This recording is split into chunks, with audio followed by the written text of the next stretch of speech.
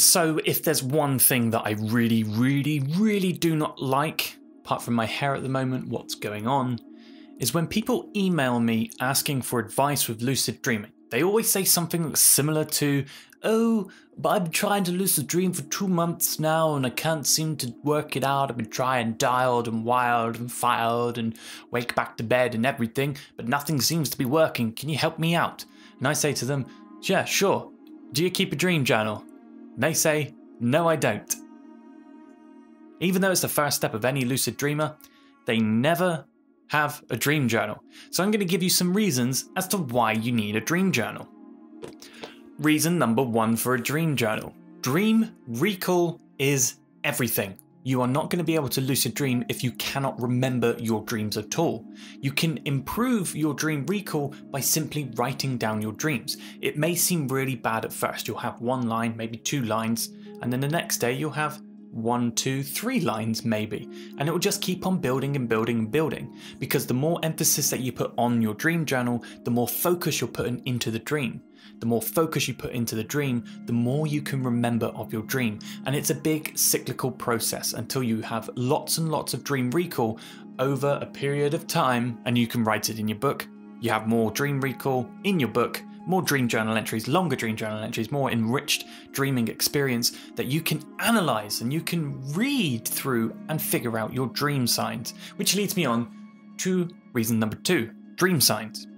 You are not going to be able to recognize a dream sign unless you recall your dreams. Because a dream sign at first may seem very small and inconsiderate, like, for example, you keep seeing a friend pop up, but unless you're recalling this down and making a note of all the times you see your friend, you might just be unaware that you always dream of your friend. Or the other way around, you might think that you're dreaming a lot of a certain object. Let's pick an object up here, this memory stick. However, when you actually recall your dreams and you record them, you might find that you very, very rarely dream about your memory stick. And it's only because you've mentioned it a couple of times that you think, oh, memory sticks. I dream about memory sticks all the time. So you have to be able to record your dreams down to improve your dream recall.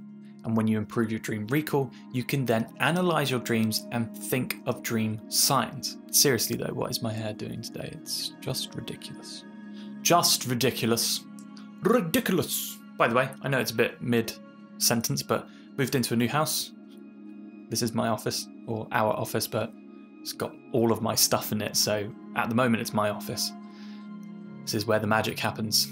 Got no internet yet, but that's details. And work that out at another time. So, reason number three for a dream journal the link. A lot of what you do in your day to day life has a direct impact on your dreams, specifically in the form of day residue. For example, if I was to read Game of Thrones one day, I may dream of Game of Thrones that night.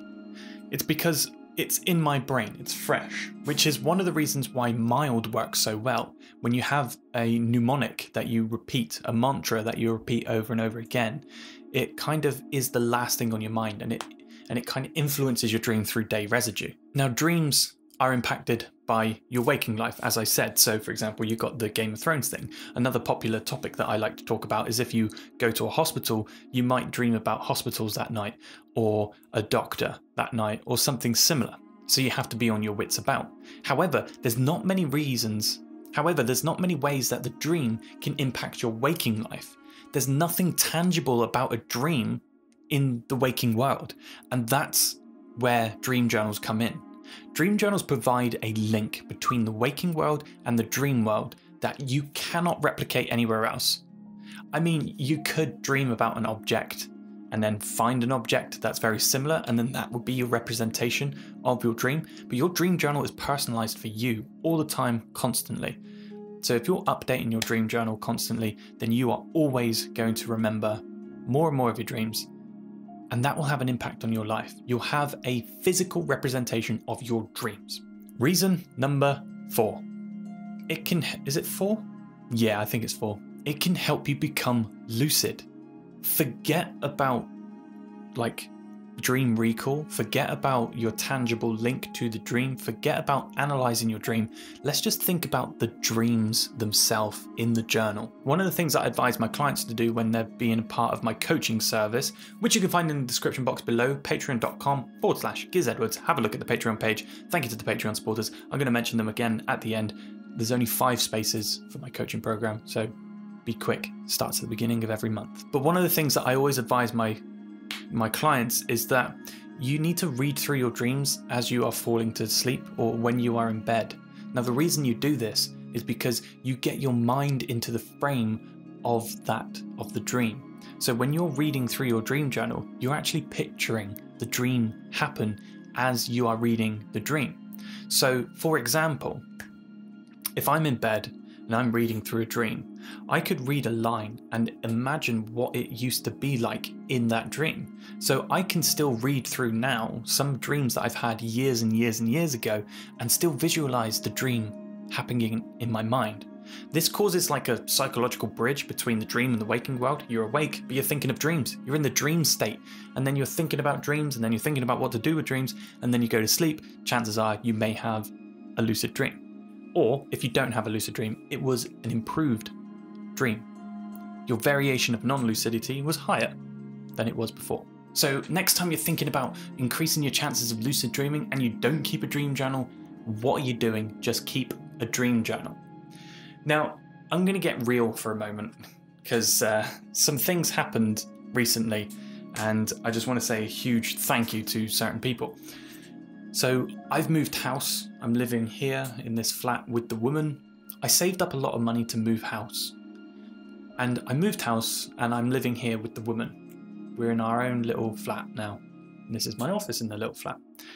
However, the money that I saved up went really fast. Like I spent it very quickly. Um, unintentionally. You know, things are expensive when you move into a new place. And because of that, I, uh, I, I would have had zero in my bank account. But then I got paid from Patreon, and it was the most I've ever been paid via Patreon ever. So I want to say a big thank you to everyone on Patreon. Um, this month has been the best month in the few years that I've had Patreon. So thank you again. And I'll see you hopefully in two days, but the internet isn't working, so who knows? Until next time.